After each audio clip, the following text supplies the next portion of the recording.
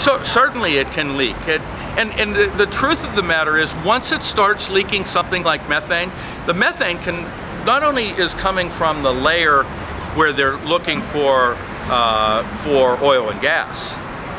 It could be coming from any layer where there's excess methane, sulfidic material, or other toxic material that can off gas or in a liquid form.